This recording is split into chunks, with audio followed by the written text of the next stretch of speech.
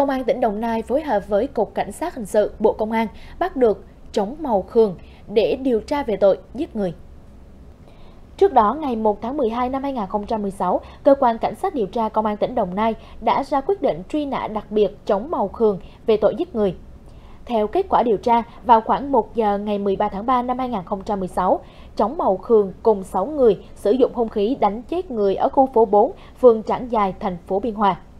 Sau khi gây án, những người này đã bị bắt giữ, riêng Khương bỏ trốn sang Campuchia.